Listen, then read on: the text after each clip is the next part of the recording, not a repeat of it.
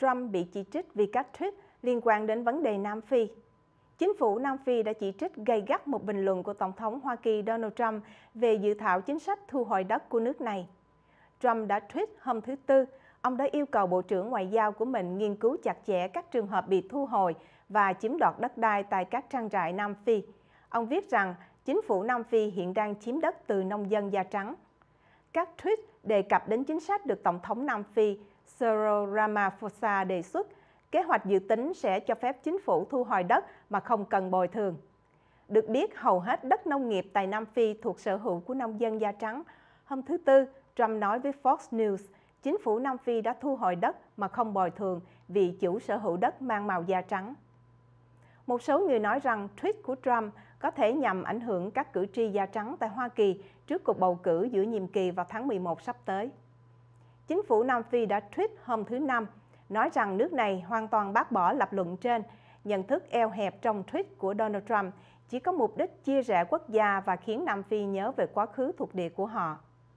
Phát ngôn viên Bộ Ngoại giao Hoa Kỳ Heather Nauert cho biết hôm thứ Năm, thu hồi đất mà không bồi thường là một việc làm không thỏa đáng và sẽ khiến Nam Phi bị lạc hướng. Michael Cohen kêu gọi đóng góp qua GoFundMe. Michael Cohen đang giơ tay kêu gọi công chúng giúp chi trả cho các khoản thanh toán pháp lý của mình. Một nhà tài trợ vô danh đã đóng góp cho ông 50.000 Mỹ Kim. Thông qua luật sư, Cohen nói việc kêu gọi đóng góp qua GoFundMe sau khi ông nhận tội là cách duy nhất bảo đảm cho ông có thể khai báo tất cả những điều liên quan đến Tổng thống. Cựu luật sư riêng của Trump, Michael Cohen, đã nợ IRS ít nhất 1.4 triệu Mỹ Kim sau khi nhận tội trốn thuế, vi phạm tài chính trong chiến dịch vận động tranh cử và gian lận ngân hàng. Ông đã trả lại hàng triệu đô la nợ nần. Vì lời nhận tội, ông cũng buộc phải từ bỏ việc kinh doanh giấy phép lái taxi tại New York. Điều này đã thu hẹp trị số Uber và Lyft, rung chuyển ngành công nghiệp. Lani Davis, luật sư Cohen cho biết hôm thứ Tư, Cohen không có nguồn lực tài chính và nợ nần. Cohen, người từng nói sẽ đỡ đạn cho Trump, hôm thứ Ba khai rằng Trump đã chỉ đạo ông sắp xếp khoản tiền 130.000 đô la để chi trả cho Stormy Daniels, một nữ diễn viên khiêu dâm, và 150.000 đô la cho cựu người mẫu Playboy Karen McDougal nhằm bịt miệng hai người về các cáo buộc bất lợi cho Trump trước cuộc bầu cử tổng thống năm 2016. Trump đã phủ nhận sự tham gia của ông trong vấn đề trên. Ông nói với Fox News, ông chỉ biết đến các khoản thanh toán sau này. Vào sáng thứ Sáu, trang GoFundMe được gọi là Quỹ chân lý Michael Cohen đã quyên góp được 149.000 Mỹ Kim từ khoảng 2.770 khoản đóng góp. Hầu hết các công chúng tỏ ra hoài nghi và không cảm thông cho ông. Tuy nhiên, một nhà tài trợ 5 đô la đã khuyến khích viết Hoa Kỳ sẽ yêu bạn vì sự trung thực của bạn. Một phiên bản đặt danh với trang gây quỹ Michael Cohen Truth Fund.com có tên ngắn hơn gọi là michaelcohentruth.com, đã chuyển hướng đến website chiến dịch tái tranh cử của Trump. Chiến dịch huy động của Cohen với mục tiêu 500.000 đô la có thể là cách Cohen gây chú ý đến đảng Dân Chủ và những người muốn xem Trump bị hạ gục. Đây không phải là trường hợp đầu tiên kêu gọi chống Trump. Andrew McCabe, cựu phó giám đốc FBI, đã kêu gọi hơn 500.000 đô la chỉ trong 5 ngày cho chiến dịch bảo vệ pháp lý của mình. Daniels đã kêu gọi tài trợ cho vụ kiện của bà với số, tổng số tiền 500.000 đô la, được huy động từ khoảng 17 nhà tài trợ. Cohen có thể sẽ cần nhiều hơn nữa. Một mô tả ngắn trên trang GoFundMe viết rằng một khoản quyên góp minh bạch sẽ giúp Cohen và gia đình ông ấy tiếp tục nói những sự thật về Trump.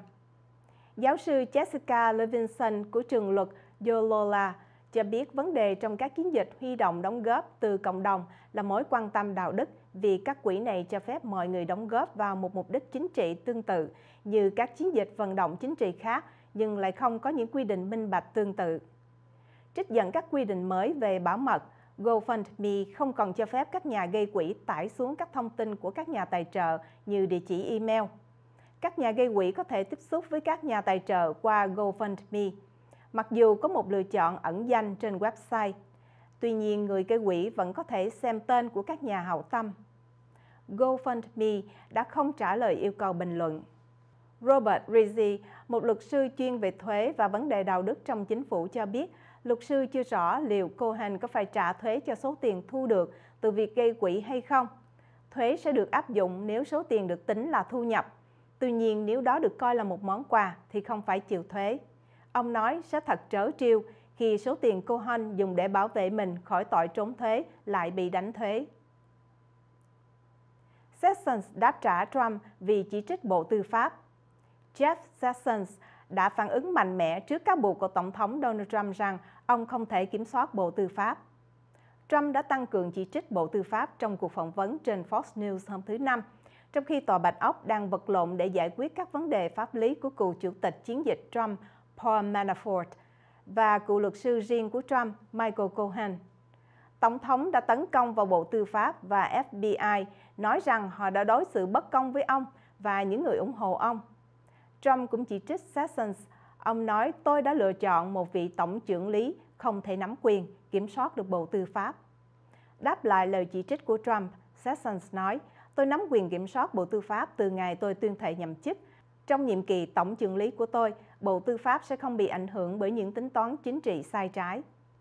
Một cuộc thăm dò ý kiến mới đây của Reuters IPSOS cho thấy sự ủng hộ của đảng Cộng hòa với Trump sau bê bối pháp lý liên quan đến Manafort và Cohen đã suy giảm. Cuộc thăm dò được tiến hành từ thứ Ba đến thứ Năm cho thấy 78% đảng viên Cộng hòa ủng hộ Trump, giảm 3% so với cuộc thăm dò kéo dài 7 ngày trước đó. Chỉ có 37% cho biết họ hài lòng với công việc của Trump. Mặc dù vậy, số lượng ủng hộ Trump tương đối ổn định so với người tiền nhiệm của mình. Úc có thủ tướng mới sau một tuần đầy sóng gió trên chính trường Úc. Nước này đã có thủ tướng mới. Cựu Bộ trưởng Tài chính Scott Morrison trở thành lãnh đạo đảng tự do và đã tuyên thệ nhậm chức vào chiều thứ Sáu. Morrison nói, tôi có kế hoạch khiến nước Úc trở nên mạnh mẽ hơn, nền kinh tế của chúng ta sẽ vững mạnh để bảo đảm cho những điều mà người Úc tin tưởng, giữ người Úc an toàn khỏi các cuộc khủng bố và bạo lực học đường. Morrison lần đầu tiên được bầu vào Quốc hội hơn một thập niên trước. Ông cũng từng là Bộ trưởng nhập cư và nổi tiếng với lập trường cứng rắn chống lại người tị nạn. Ông đã thúc đẩy chính sách ngăn chặn tàu thuyền của người tị nạn và đưa họ đến các trại tị nạn trên đảo Nam Thái Bình Dương. Morrison tiếp tục quản công việc của Malcolm Turnbull, người đã nắm quyền trong 3 năm. Turnbull đã chịu áp lực yêu cầu ông từ chức vì kết quả thăm dò cho thấy mức độ tín nhiệm đối với đảng tự do của ông ngày càng thấp. Turnbull đã chiến thắng sát nút trong một cuộc bầu cử lãnh đạo hôm thứ Ba, tuy nhiên năm bộ trưởng nội các đã từ chức sau đó. Turnbull tuyên bố ông sẽ rời khỏi quốc hội. Điều này có thể khiến đảng tự do sẽ mất thế đa số trong quốc hội.